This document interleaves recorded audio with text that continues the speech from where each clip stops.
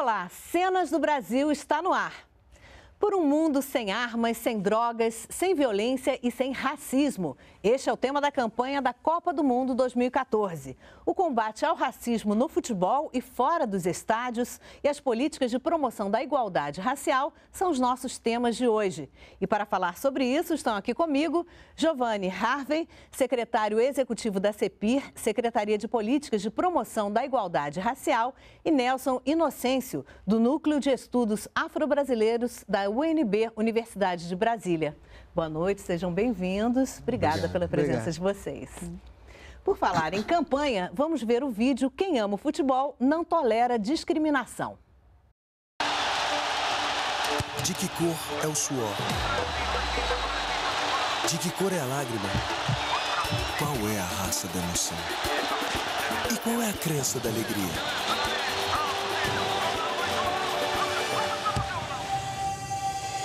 Quem ama o futebol não tolera discriminação.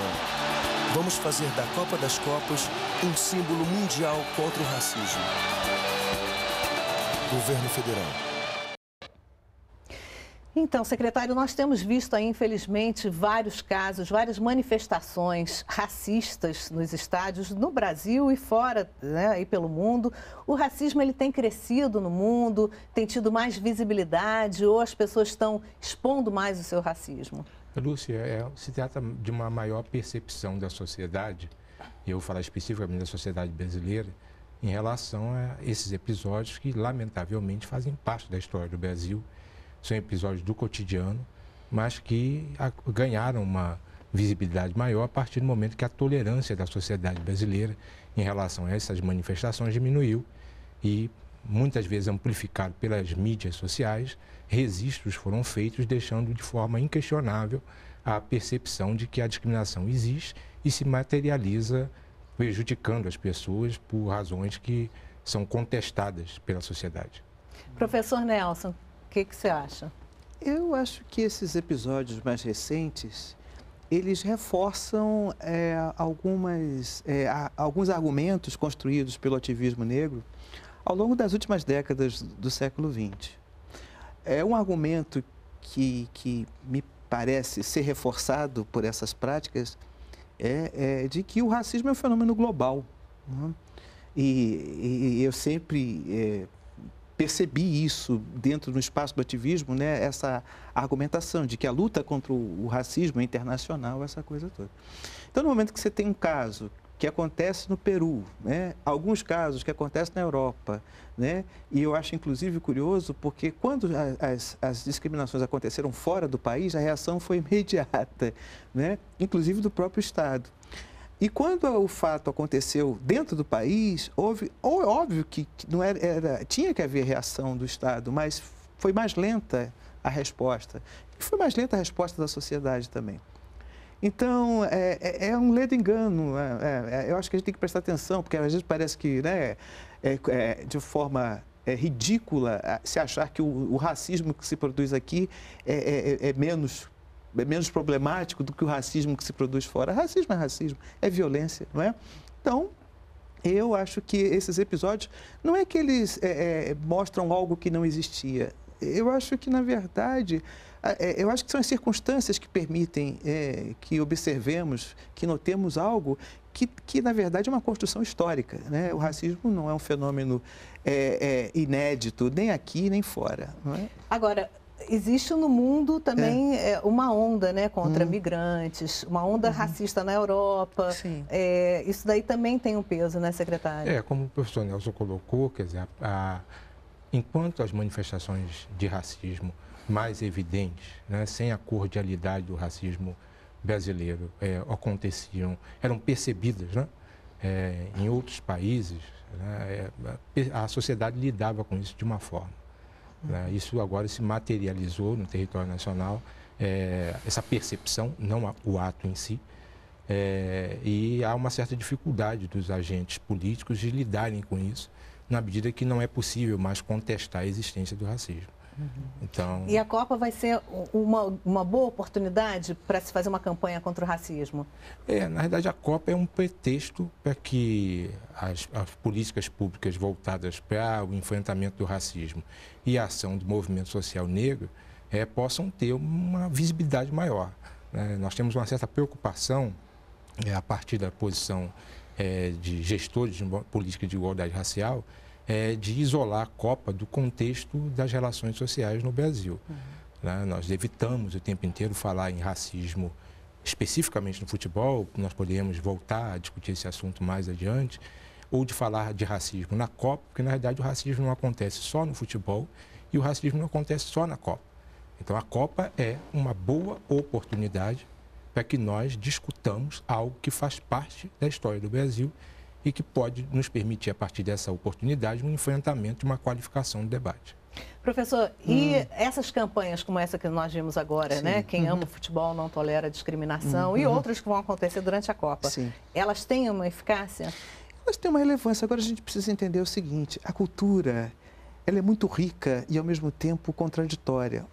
Ou seja, o fato de alguém, é, é, por exemplo, gostar de samba, é, é, ninguém se torna menos preconceituoso, menos racista, porque, por exemplo, gosta de, de maracatu, porque gosta de, de jongo, porque gosta de capoeira. É, são essas contradições. E, e, o brasileiro, nós do Brasil vivemos isso. É, muitas vezes a sociedade não se dá conta da relevância, da importância da contribuição, mais do que da contribuição, da participação é, é, do legado africano, do legado é, negro para a formação desse país. E muitas vezes, é, ainda que se reconheça isso no âmbito das artes, né, das manifestações artísticas, isso não necessariamente significa, é, e é aí que está a contradição, que quem goste, por exemplo, de determinadas é, é, expressões culturais, necessariamente, artísticas e culturais, necessariamente tenha superado, tenha superado esse limite.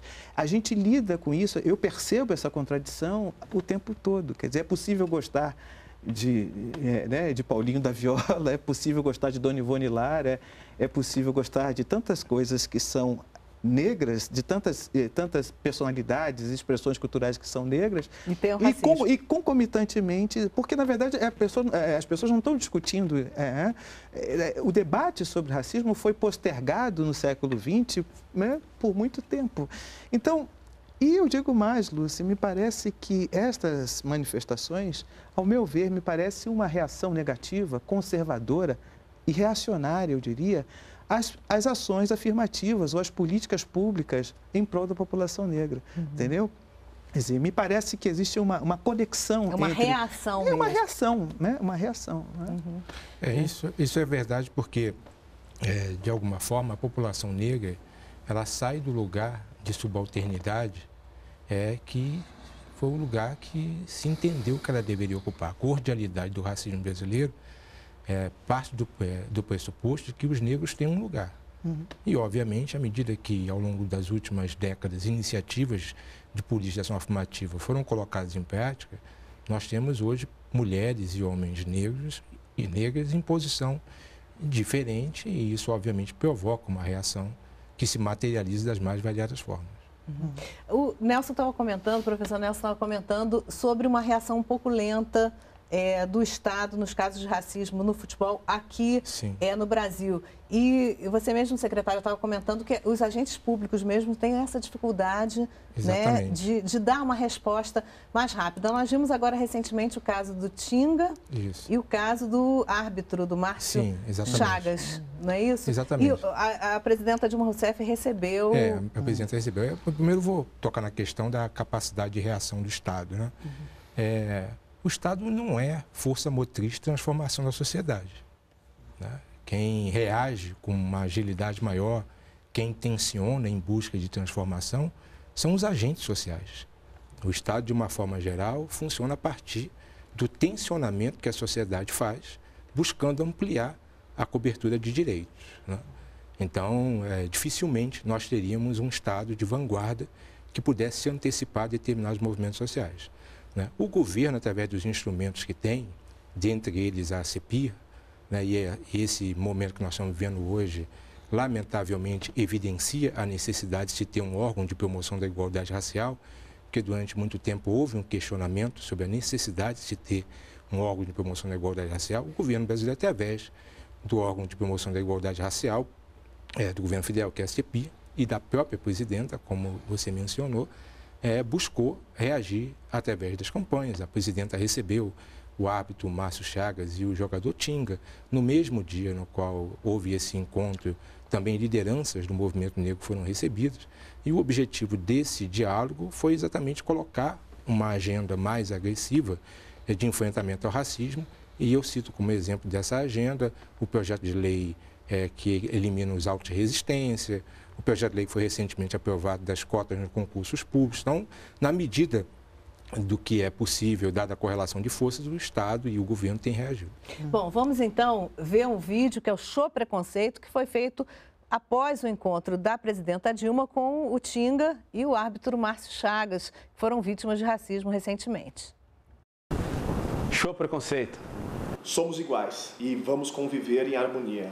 Esse é o Brasil. Como cidadão brasileiro, eu me senti super valorizado por ter um reconhecimento por parte da presidenta do Brasil, né? uma situação que eu jamais imaginei né? ter um contato com ela, assim, de poder conversar no seu gabinete, de poder trocar ideias com ela, aprender, contribuir também dando a minha opinião.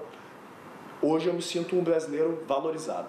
O que eu posso ver de tudo isso é ver uma preocupação né, a nível de governo com as coisas que estão acontecendo. Isso, para mim, é o, o, mais importante de todo.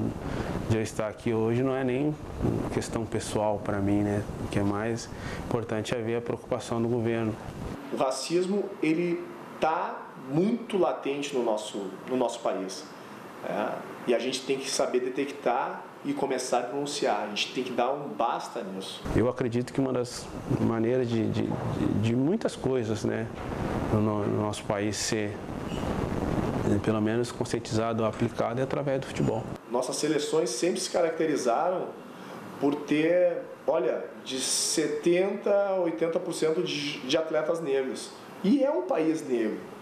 A maneira de, de combater qualquer tipo de preconceito é a educação, né? Muito se vê punir, prender, enfim, isso você vai talvez estar tá, tá punindo a pessoa que fez, mas a educação não você vai estar tá, é, ensinando, né? demonstrando o que é certo, o que é errado.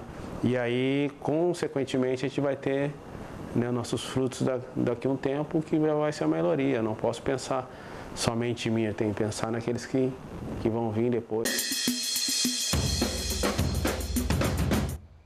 Professor, o Márcio Chagas, ele fala que ao longo da nossa história, as seleções contaram sempre com 70% a 80% de jogadores uhum. negros, né? mas há vários relatos ao longo da história de discriminação de atletas negros. Sempre uhum. houve racismo no futebol? Eu, não tenho dúvida, até porque isso faz parte da história. Né? Por exemplo, o Vasco da Gama é conhecido como o primeiro time que recebeu negros no seu chamado plantel, né? Uns falam que foi o Bangu, no Rio de Janeiro. O Fluminense, quando se fala pó de arroz, é porque é, é, existe, conta a lenda, né, de que os jogadores negros eram maquiados para entrar em campo. Coisa absurda, né, porque correndo o suor vai modificar, né, vai tirar a maquiagem. Mas é curioso tudo isso porque quem inventou a bicicleta? Leônidas, né? que hoje é, é, uma, é uma jogada que muita, o mundo inteiro imita. Né? Quem inventou a folha seca? Didi, né? que era um, um, tipo de chute cheio de efeito na, na, na cobrança de falta, que, enfim, geralmente né, resulta em gol. Né? É, quem inventou a paradinha na cobrança de pênalti? Né? Uns atribuem a Edson Arantes do Nascimento, né? Dizer, há uma controvérsia aí se foi Didi ou se foi... É. Então, e essa coisa, a contribuição, mais do que contribuição, a participação, essa presença negra no futebol, fez do futebol brasileiro algo único. Quer dizer, é futebol, mas é um futebol jogado dessa forma e não por acaso. Né? Essas, é, e, e, tudo isso é muito relevante. E não é só isso, não. É, é Ademar Ferreira da Silva, campeão do salto triplo, foi ele que inventou a volta olímpica. Hoje, todos os times, quando ganham campeonato, sabe? mas é um atleta que não é de futebol, era do atletismo, importantíssimo, né? medalha de ouro ou ele que inventa a volta olímpica no estádio. Então, quer dizer, essa criatividade né, é, é, produzida por esses atletas negros, isso é ao mesmo tempo de uma relevância, isso é significativo, mas contraditoriamente a sociedade não se vê mesmo, a sociedade não modifica o seu comportamento, apesar é, de saber que essa contribuição existe. Né? É, como eu disse, a cultura é, é, é também um espaço de muita contradição. Né? Secretário. É, na realidade, o que acontece? É, o racismo acontece no futebol e acontece em outros esportes também. Né? É, é, importante que nós aproveitemos esse momento para dizer que o racismo existe no vôlei, uhum. o racismo existe na natação, o racismo existe em várias expressões esportivas, como reflexo da sociedade, o esporte não está fora das relações sociais, muito pelo contrário, e aí essas manifestações acontecem.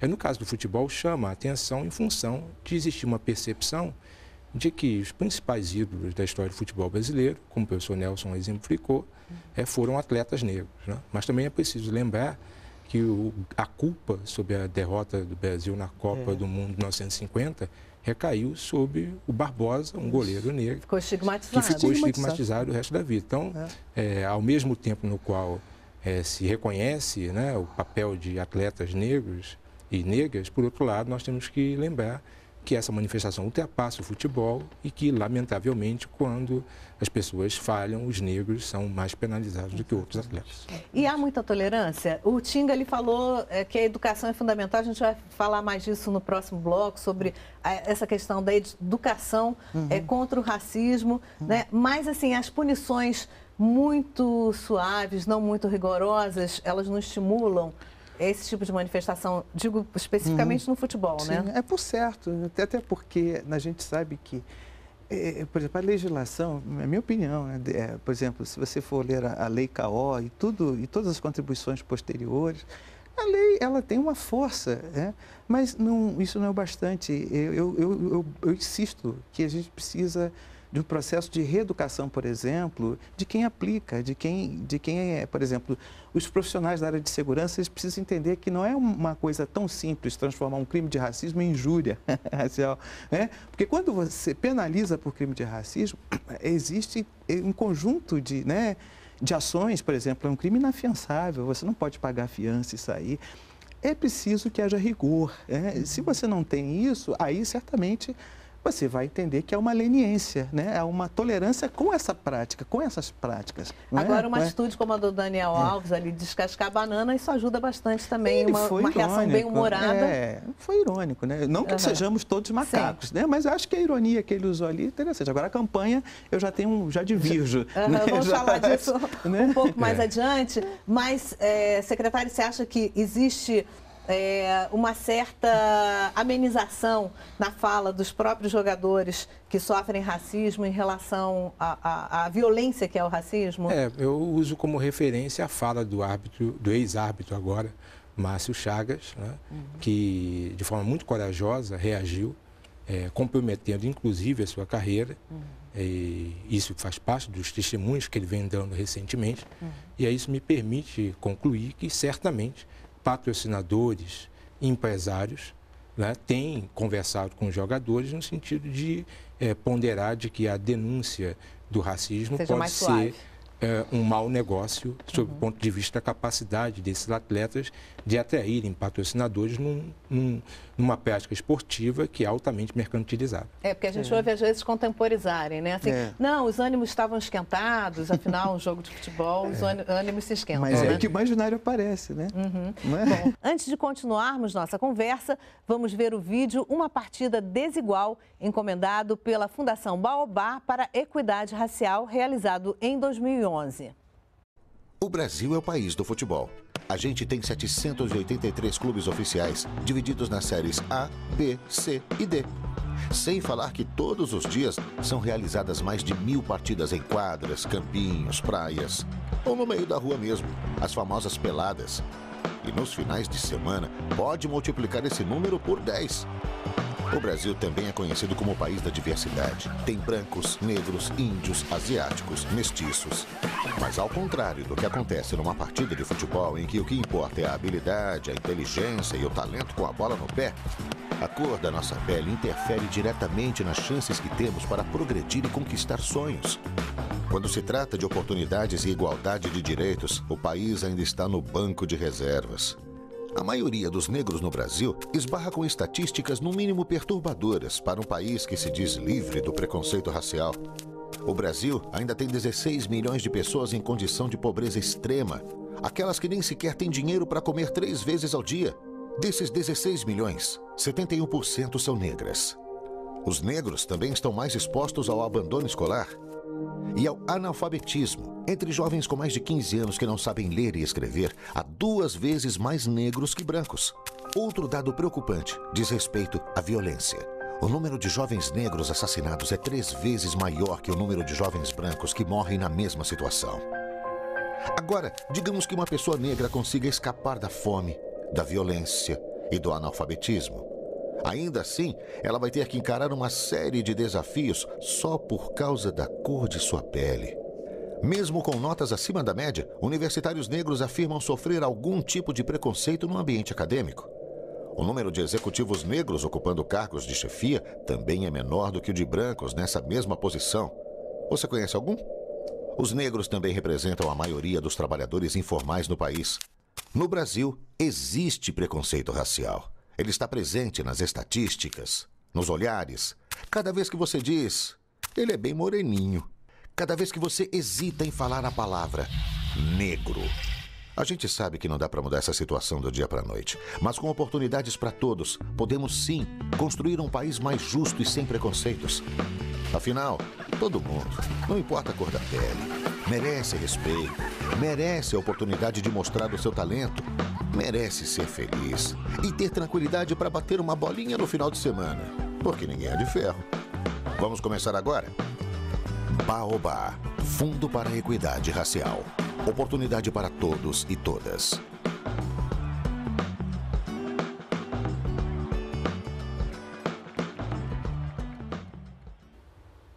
Eu só gostaria de reforçar que esse vídeo foi feito em 2011, quando foi lançado o Plano Brasil Sem Miséria. De lá para cá, milhões de pessoas saíram da extrema pobreza e dos que migraram nos últimos anos para a classe média, quase 80% são negros. Mas é, apesar de todos os avanços, a situação continua muito desigual e esse vídeo extremamente atual. É né? Eu gostaria que vocês comentassem, então, hum. essa situação mais geral da desigualdade racial no país. É, na realidade, ao longo dos últimos tempos ficou mais evidente, né?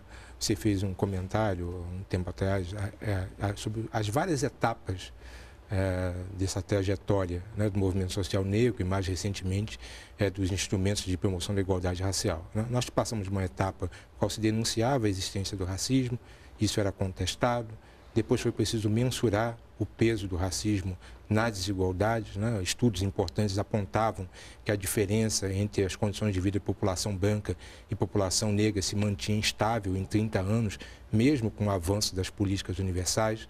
Nós tivemos um presidente do IPE, Roberto Martins, que fez um prognóstico que se nós não adotássemos políticas de ação afirmativa no Brasil, só em 2520 as desigualdades entre negros e brancos iriam desaparecer. Então nós vimos todo um processo né, de propositura de política de ação afirmativa, de contestação judicial, de construção de marcos legais. Vivemos agora um momento no qual esses marcos estão sendo aperfeiçoados com sistemas de gestão, com sistemas de monitoramento. Você fez menção recentemente ao fato de que é, ocorrências né, não são tipificadas como racismo. Nelson citou a descaracterização, levando essas ocorrências para injúria racial. Então, nós estamos vivendo um processo de transformação nas últimas décadas que apontam é, de forma sustentável para a existência de políticas que possam reduzir essas desigualdades uhum. e fazer com que esse país, que é majoritariamente negro, se represente em todas as dimensões da vida social, econômica, política, da forma é, mais coerente do que ele se representa hoje. Professor. É, eu, eu penso que essas, é, esses limites né, impostos pelo racismo, é como eu disse, é, é nós não temos saída. Eu acho que um grande problema é essa nossa transição, a transição histórica, né? desde, desde 1888 até hoje, cento e, e tantos anos, eu acho que nós, o, o que a gente, eu acho que o grande aprendizado de tudo isso é que questões, problemas não podem ser silenciados. É, eles não podem ser negligenciados e eles não podem ser postergados às gerações futuras. Você não elimina, você não liquida o problema, apenas você delega para gerações futuras. E é isso. Né? Agora, a gente não pode deixar de lembrar que existe um marco histórico nesses últimos anos, sobretudo na virada do século XX para o século XXI, em que foi a Conferência de Durban. É, não fosse a Conferência de Durban, acho que talvez a gente estivesse muito longe, não sei se Harvey concorda comigo, mas talvez estivéssemos muito longe das políticas, porque foi exatamente naquele fórum internacional, né, é, organizado pela, é, pelas Nações Unidas, que pela primeira vez o Brasil, é, é, é, por força das circunstâncias, teve que assumir a tarefa de casa, o trabalho de casa. Eu digo força das, força das circunstâncias porque a presença de ativistas é, do movimento social negro em Durban foi determinante para que naquele, naquele período, José Gregory, o então ministro da Justiça, representando o presidente da República, Fernando Henrique Cardoso, o então presidente, é, é, percebesse que não tinha mais ali para onde tangenciar, que o caminho era esse mesmo. E é a partir desse momento, então, em 2000, a partir de 2001, que a gente passa a ter, então, é um reconhecimento é, do Estado do seu débito, da sua dívida, e não só disso, mas do compromisso com ações, né, com políticas públicas que, de alguma maneira, pudessem intervir, pudessem é, é, contribuir para a mudança desse quadro. Sim. Bom, secretário, a gente comentava no bloco anterior, também o, Nelson, você tinha comentado que só realmente com a cooperação Sim. internacional é que se vence Sim. o racismo. Né? E a próxima, uh, 2015, em 2015, a começa a década dos afrodescendentes, é, não é Exatamente. Né? É, a cooperação é importante por quê? Porque a adesão do país a determinadas convenções, né? no caso o professor Nelson citou, e eu concordo com o professor, né, o Brasil é o país de referência na implementação da plataforma de Durban. Né? É, nós temos feito, na medida do possível, esse dever de casa, de ter um plano né, de, com várias dimensões de enfrentamento ao racismo. Agora nós estamos nos preparando para a década dos afrodescendentes. O Brasil está tendo um papel importante na elaboração do plano de é trabalho. É década internacional, né? Exatamente. Estabelecida é uma, pela ONU. Pela também, ONU, né? também. Né? Então o Brasil está tendo um papel importante na elaboração do plano de trabalho. Ainda mês passado, é, a CPI participou de uma reunião em Genebra no sentido de fechar esse plano de trabalho, à disposição do Brasil, inclusive de aportar recursos financeiros junto à ONU para que possa haver o financiamento da etapa inicial dessa década dos afrodescendentes e da mesma forma que a Conferência de Durban pautou a agenda da igualdade racial no mundo, nós acreditamos que a década dos afrodescendentes vai ser um elemento de convergência das iniciativas que existe, existem nos mais variados países. Bom, a gente fala um pouco mais adiante aí uhum. das ações afirmativas, a questão das universidades, Sim. dos concursos públicos, né? Sim. É, sobre o, o, Estatuto Racial. Mas nós estávamos tocando no primeiro bloco no ponto eh, sobre a, a, as condenações por hum. racismo, Sim. né? Essa questão da, eh, de se minimizar, é, de se levar para a injúria racial, isso, né? Vamos fazer um balanço sobre isso, até retomando a questão do esporte. Hum. Uh, um dirigente do basquete americano, ele te, teve uma atitude racista e ele foi banido dos estádios, simplesmente foi banido. Né? Isso poderia ser reproduzido aqui, professor? O que, que deveria ser feito para que se, uh, né, essa questão do racismo ser crime, uhum. é. ele eu entendo o seguinte, é, é, muitas vezes a gente, a gente torce né, para que a sociedade, por ela mesma, consiga proporcionar é, mudanças, mas nem sempre isso é possível. Né? A questão racial, o assunto é, racismo é um assunto tabu. Ainda é um assunto tabu. Por que, que é um, um, assunto tabu? Porque a gente percebe né, em algumas rodas de conversa que se você começa a adentrar um pouco o assunto, isso já se torna incômodo. Né? Nós vamos ter que nos habituar a discutir o racismo. Né? Só assim. É, eu acho que é aquela coisa da ferida, né? que você, você tem que lidar com isso. Né? Eu acho que não tem um outro, não tem uma. Não tem paliativos, eu creio que não existem paliativos. Então, é, no caso, por exemplo, nosso, da, eu acho, eu entendo que não é somente discutir, mas é, eu acredito que o rigor né, nas punições às vezes as pessoas podem até achar muito exagerado, mas isso também ajuda a refletir sobre as questões. Não é? Uhum. é sobre o racismo, é sobre a homofobia, sobre a misoginia, sobre todas essas, essas práticas abomináveis precisamos pensar em punições exemplares. Do contrário, eu acho que não avançamos, entendeu? E qual o balanço, secretário? São muito baixas ainda as condenações, né? É, é tentando fazer uma ponte que o professor Nelson colocou, é preciso reafirmar o seguinte: o racismo é um elemento estruturante nas relações sociais no Brasil. Quando o movimento negro coloca essa questão, é, não é apenas uma figura de retórica. O que, que é um elemento estruturante das relações sociais? É algo que está presente em todas as dimensões da vida social e da vida institucional. E se materializa, no que diz respeito ao aparato policial, na desqualificação de uma conduta que é tolerada pela parte das autoridades policiais, que não veem nessa conduta algo criminoso, porque o Estado ainda é o maior violador de direitos. Então é uma contradição é, esperar que o aparato policial reprima algo que considerando o fato que, por exemplo, hoje nós temos níveis de mortalidade de jovens negros e negras que são causados principalmente pela ação de milícias e de grupos policiais. Então, é, a punição ela, ela, é importante. Além sim. da institucionalizada ah, também. Né? institucionalizada. Né? Então, a punição ela é importante. Eu não usaria a expressão punição exemplar, mas eh, entendo uhum. quando o professor Nelson utiliza essa, essa expressão, porque é, não existem casos exemplares de racismo. Né? O episódio que aconteceu com Vinícius Romão, no Rio de Janeiro, não é um, algo que se destaca. Quantos Vinícius Romão não existem hoje presos no Brasil? Quantas Cláudias Ferreiras não são arrastadas pelo Brasil?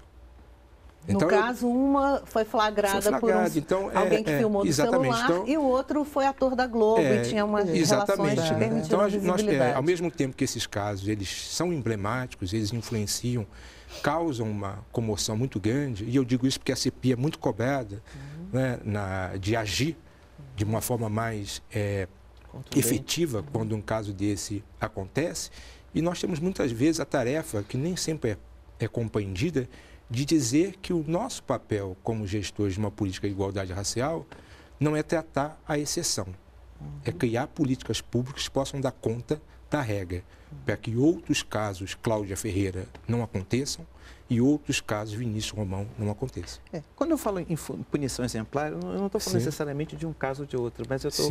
É, talvez os brasileiros não tenham dimensão do, da, da, da, do significado e, e da, da, forma como a lei pode ser implementada. Sim. Então, a sociedade brasileira não tem dimensão disso. Então, Sim. quando estou falando exemplar, é no sentido de que as pessoas compreendam. De exemplo. Elas entendam, isso é grave. Isto não, é, é grave. Né? Se eu fizer isso, eu estou cometendo um crime. Exato. E não é qualquer crime. Uhum. Agora, é no caso, uh, secretário, esses casos uh, que são, têm muita visibilidade, eles também podem servir de exemplo, né? No caso de serem. Uh, tomados aí pelas políticas públicas, pelos, pelos agentes da política pública e serem repudiados também. É, eu, eu acredito que sim. Por exemplo, o caso Cláudia Ferreira e o caso Vinícius Romão, por exemplo, eles têm, é, eles têm influenciado o debate no parlamento brasileiro em relação aos autos resistência, por exemplo. Né?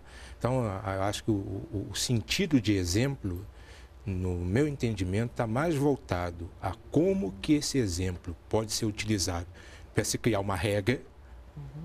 do que a nós, governo, adotarmos uma posição midiática de punir o autor daquele caso exclusivamente porque aquele caso teve visibilidade, criando na sociedade a ilusão de que nós estamos punindo exemplarmente as pessoas é, quando na realidade essa punição está alcançando um único caso, exclusivamente porque ele teve repercussão.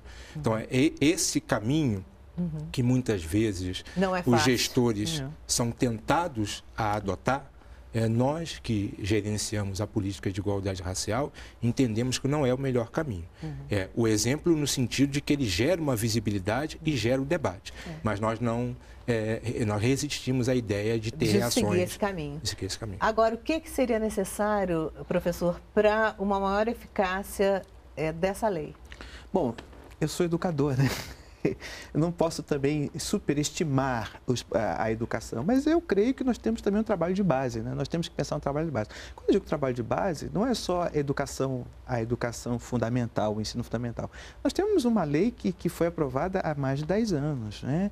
e que procura, de alguma forma, quer dizer, o conteúdo da lei 10.639 é exatamente no sentido de tentar, porque instruir a sociedade, porque o racismo é fruto da ignorância também, não é? Então, é, mas é, muitas vezes a gente também encontra limitações é, no próprio processo de implementação. É? As universidades, por exemplo, elas precisam ter maior compreensão da dimensão disso, da lei, por exemplo, é, a gente, eu penso muito nas licenciaturas, nos cursos de licenciatura, é, que você poderia ter disciplinas apontando para esse caminho, porque você vai ter muita gente que vai para a sala de aula, que vai fazer concurso público para as redes públicas e que não tem o menor discernimento, não tem o menor conhecimento do, do que, que se trata.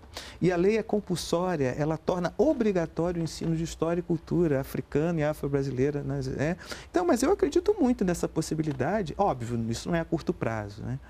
Isso é a longo prazo, mas é um processo também necessário, né? apenas um dos processos. Né? É. E, secretário, uh, falando aí nesse, para a gente encerrar esse Sim. bloco, uh, nessa questão da implementação do ensino uh, da história e da cultura afro-brasileira, como é que anda isso? É, o, o, através do Ministério da Educação, né, isso tem sido recebido recursos, há uma secretaria no Ministério da Educação, que é a SECADI, né, liderada pela secretária Macaé Varisco, que coordena um conjunto de ações no sentido de disseminar a implementação. Há projetos como a Cor da Cultura, que também são ações complementares. Agora, eu queria chamar a atenção para uma questão da educação, é, é, em complemento ao que foi colocado corretamente pelo professor Nelson, é, que é a educação no sentido de que todos nós possamos é, compreender o mundo, levando em consideração à contribuição africana é que muitas vezes o discurso da educação ele é usado de forma distorcida. Né? Muitas vezes se atribui eventualmente a discriminação a uma falta de educação da população negra. Né? Então, na verdade, a edu... a... quando se fala educação, é preciso entender que nós estamos falando de educação em duas, dois campos. A educação para todas as pessoas, no sentido de que todas precisam compreender a contribuição e o legado africano. Agora, nós não podemos, entre aspas, atribuir há uma pretensa falta de escolaridade ou de educação das pessoas negras às causas pelas quais as pessoas são discriminadas. Porque aí nós estaremos, então, atribuindo à pessoa que é vítima da discriminação é, a, a, a, responsabilidade de superá-la através da sua educação. Uhum. Quem tem de ser educado, educado sob esse ponto de vista é a pessoa racista, não é a pessoa que é alvo de discriminação. Então, todas as vezes que eu escuto alguém falar, ah, o problema da discriminação no Brasil é um problema educacional. Sim, é um problema educacional das pessoas racistas. São estas pessoas que, lamentavelmente, precisam ser educadas para deixarem de ser racistas. Professor Nelson, um balanço aí, uh, a gente vinha falando que só com ações afirmativas né, a gente pode vencer uhum. a desigualdade. Uhum. Uh, um balanço aí, uh, na sua experiência lá na UNB, uhum. da política de cotas. Sim, as universidades, é, hoje nós podemos falar de, da primeira década, né? Da, da, a gente pode falar dos resultados, por exemplo, no caso da UNB, que foi a primeira universidade federal a adotar políticas de ações afirmativas, é, nós podemos constatar que é, os processos é, devem avançar. Né? Por exemplo, já existem departamentos que estão discutindo cotas, inclusive a sociologia hoje, na UNB, Departamento de Sociologia, já na, no próximo edital para o mestrado e doutorado vai adotar cotas na pós-graduação. Me parece que o direito também está nesse curso. É, precisamos pensar essa representação na atividade docente, concurso para professores universitários, etc. Então, quer dizer, o, o, o, a, o trabalho na graduação, é, as cotas no vestibular, foi o começo de um processo que tem que ter desdobramentos, por mais que hajam posturas é, retrógradas em relação a isso. Agora, os 20% que foram aprovados agora, 20% de qualquer concurso público. Para o executivo. Para o executivo. É, para o executivo. É. Isso, isso, não pega. Legislativo uh, e judiciário, não. E nem pega as universidades, outros órgãos. Não, a universidade é, é executivo. É, é federal. É, executivo. Então, no caso, o concurso para docente já está. Tem que contemplar. Já né? tem que contemplar. Tem que contemplar. Então, é, essa proposta foi aprovada na semana passada, né, no, pelo plenário do Senado, por unanimidade. É importante que se coloque isso, porque isso mostra que há um certo consenso na elite política brasileira sobre a necessidade de se implementar a política de cotas. Ela tem dois aspectos que precisam ser ressaltados. O primeiro aspecto, que diz respeito às pessoas que vão entrar através dos concursos públicos, a nossa estimativa é que ao longo dos próximos 10 anos é, sejam abertos na administração de 250 mil vagas e destas 50 mil pessoas entrariam pela política de cotas, no mínimo, pessoas negras. É, e o outro aspecto é o fato de que nós temos a expectativa de que essa, essa diversidade no serviço público possa melhorar a qualidade dos serviços prestados à sociedade. Né? Uhum. É, nós partilhamos do entendimento que o enfrentamento ao racismo não beneficia apenas a população negra, beneficia a sociedade como um todo, e nós temos a crença que o serviço público brasileiro vai mudar para melhor através da promoção da diversidade, tendo como referência as políticas de ação afirmativa foram feitas por grandes empresas privadas que não fizeram isso apenas para reduzir desigualdade, mas também para melhorar a sua performance. Agora, professor, é, nesse caso do, do, dos concursos públicos, houve uhum. esse consenso, uhum. mas no caso das uh, ações afirmativas nas universidades, das cotas uhum. das universidades, uhum. isso foi muito contestado, sim, sim. É, houve muita polêmica, sim, né? Por que essa...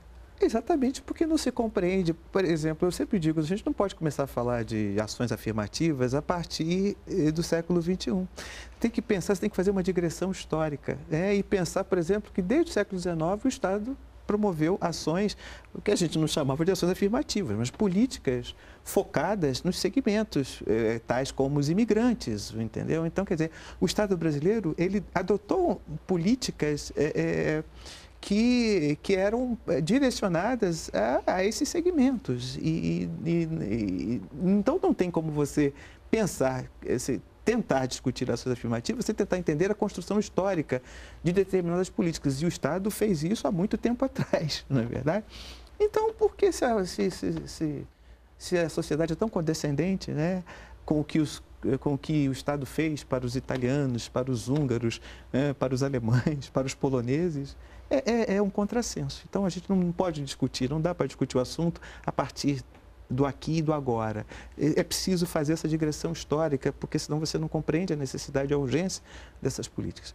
Né? Bom, a ministra da CEPIR, ela disse recentemente no evento é que a não inserção da população negra, ela gera custos é, para a sociedade que esses prejuízos causados né, pelo racismo, eles já poderiam começar a ser mensurados. Gostaria que você comentasse, Sim, secretário. É, exatamente. Desde a década de 90, vários estudos têm mensurado né, os danos causados pela discriminação. Né?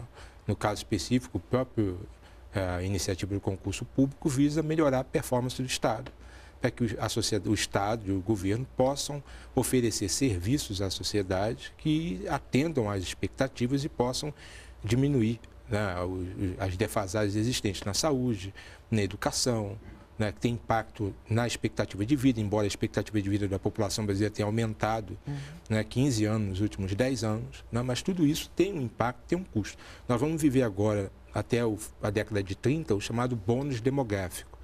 Né, esse, né, o Brasil é, tem uma característica é, etária que permite que nós tenhamos uma população economicamente ativa maior que a população que é beneficiária da Previdência. As crianças ou os idosos. Exatamente, população economicamente Mais gente ativa. trabalhando do Exatamente. que... E um país que é majoritariamente negro e que nos próximos 20 anos deve evoluir de 51% para pouco mais de 60%, quando se fala em bons demográficos, estamos falando de uma força de trabalho de uma juventude majoritariamente negra. Uhum. Né? Quer dizer, que hoje nós sofre, nós temos um custo, uma morte dessas pessoas, uhum por causa violenta e que a redução desse nível de mortalidade, daí a importância de aprovarmos o projeto de lei 4471, que acaba com os autos de resistência, por um uhum. lado.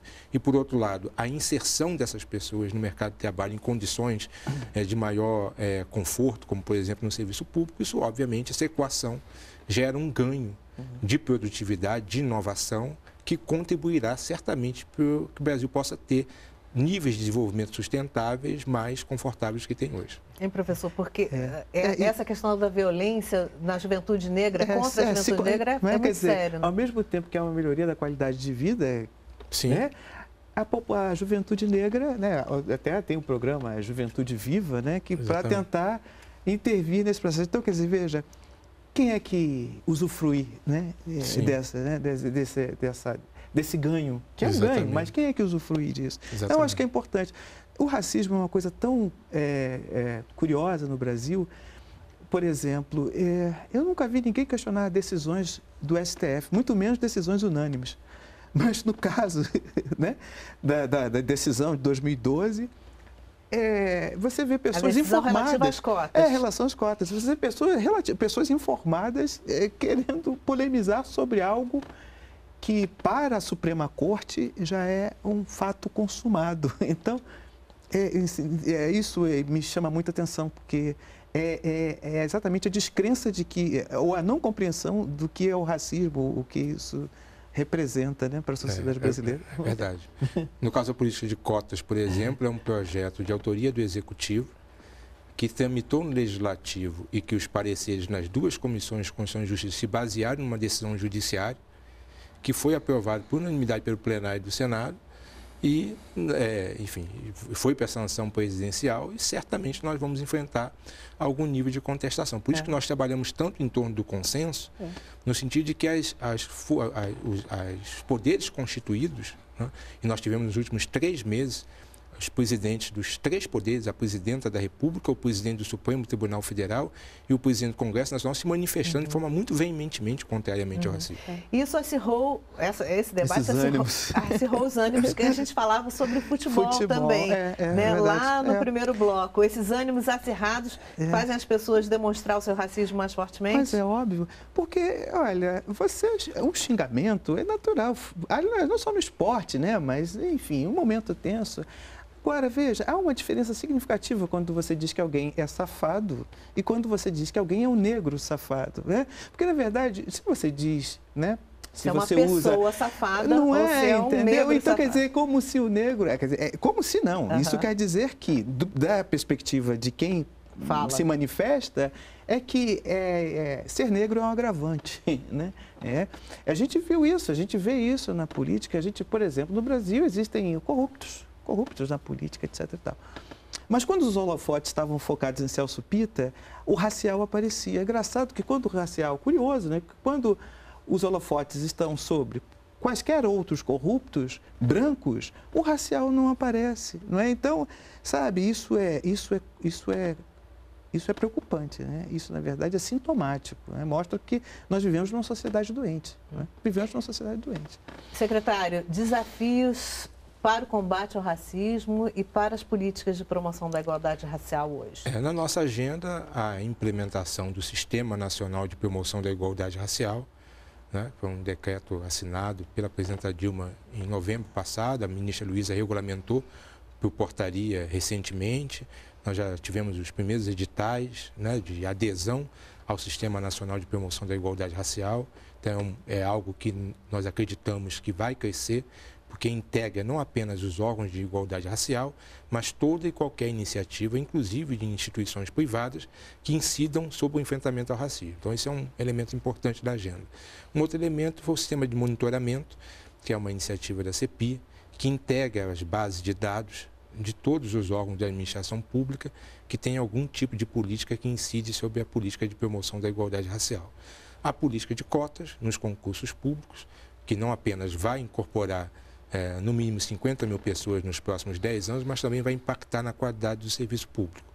Né? Nós temos que aperfeiçoar a política de cotas no ensino superior, é extrair os resultados né, dessa década, como o professor Nelson mencionou. Enfim, nós temos aí uma agenda para os próximos 20 anos que certamente fará do é. Brasil um país é, mais democrático que é hoje.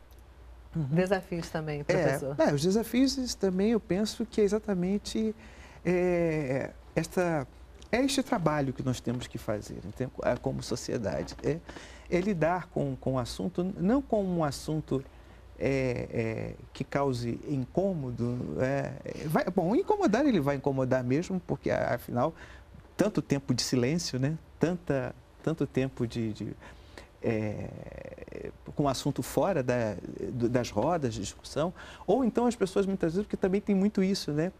Das pessoas acharem, intuírem sobre a questão racial. E muitas vezes isso não significa compreensão. Então, eu, eu tomara, tomara que, que as pessoas se predisponham. E eu acho que é fundamental também é, dizer que é, é, é, é, preciso que a sociedade se comprometa. Eu falei da campanha lá do, dos macacos e tudo. Eu concordo com alguns, algumas, é, alguns ativistas que disseram o seguinte. É, é a questão não a é. A campanha do Daniel Alves, somos todos exato. macacos. Exato. Eu acho que é muito mais complexo do que isso. Né? Até que ponto estamos dispostos a enfrentar o racismo? Né? Houve uma campanha das emissoras públicas né, que era Aonde você esconde o seu racismo? Que foi uma campanha aí que tem aí alguns anos. Né? Então é isso, bota ele para fora, vai ter, que, eh, vai ter que enfrentar os seus fantasmas. Né? E é isso que o, que o Harvey disse também. Ir para além dessa ideia de que o, a questão racial é um problema do indivíduo, um indivíduo mal resolvido, o outro. Isso faz parte da cultura, não é? isso está presente na cultura brasileira. Não é? Então, acho que é fundamental irmos além. Uhum. E, e, esse é compromisso nosso. Né? E um dos trabalhos da CEPIR é essa uh, inserção para tentar uma mudança cultural. É, exatamente. É um trabalho que ultrapassa a CEPIR, porque é uma política implementada pelo governo federal. Né? É a política de enfrentamento ao racismo na educação, é implementada pelo MEC, a política de enfrentamento ao racismo na saúde é implementada pelo Ministério da Saúde. Né? Então, há um conjunto de iniciativas que, obviamente, a CEPI tem um papel de coordenar, é, que são é, implementadas pelo governo federal como um todo, com a participação poder executivo, do poder legislativo, que tem uma agenda, né?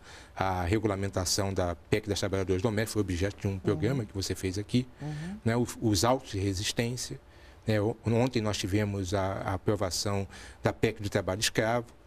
Enfim, um conjunto de estruturas é. que o Brasil, como Estado, está construindo para fazer o um enfrentamento à discriminação. Bom, nosso tempo chegou ao final. Vou Sim. dar um minuto para cada um para o recado final de vocês. Professor Nelson, por favor. Bom, eu, eu creio que é, é, a sociedade realmente vai precisar avançar. Né? Mas é, eu acho, eu, no meu entendimento, é, a gente tem, é, muitas vezes é difícil, né? É, é que fazer com que o outro compreenda a questão e os limites que ela impõe. Eu entendo que o respeito à diferença é fundamental. Né? E no Brasil, apesar da diversidade, o respeito à diferença é algo ainda a ser conquistado. Né? Somos como, como os, os, os, atletas, o juiz falou ali, o atleta disse, somos todos iguais. Eu quero ter direitos iguais, mas eu também quero ter direito à diferença. Né? Quer dizer, eu, eu não preciso é, é, é, é me submeter a, a determinadas é, imposições do mundo ocidental, da cultura. Da, é, eu, não, eu não quero me, me dobrar ao eurocentrismo. Né? Às vezes, eu quero ser um afro-brasileiro e acho que todos os afro-brasileiros têm direito de serem o que, bem, o que desejarem, assim, em relação a esse pertencimento. E para isso a gente tem que entender que a diferença precisa ser respeitada. É, se a, a questão de, de, de, de, afinidade, de sensibilidade é algo que você conquista, mas a, prioritariamente o que é preciso, o que é fundamental, é que nós construamos relações de respeito. Né? E para maiores informações sobre o trabalho do núcleo, tem um e-mail, Sim, né? o e-mail do núcleo de estudos afro-brasileiros é neab.unb.br. Né? Estamos à disposição, quem quiser mandar e-mails, propostas e tudo, estamos disponíveis. Muito obrigada pela sua participação. Secretário, seu recado é, final. É, Lúcia, é a compreensão de que a verdadeira igualdade é o respeito à diferença, como o professor Nelson colocou e que esse tema tão incômodo para a sociedade brasileira, que é o enfrentamento ao racismo, é, se ele tem um componente que é o desnudar relações estruturais, por outro lado, ele traz uma dimensão que, se for potencializada, pode ser o caminho para que o Brasil possa crescer de forma sustentável ao longo das próximas décadas, através da contribuição é, ativa e respeitada de um contingente da população que, lamentavelmente, foi excluído poder de decisão sobre a condução do destino do país.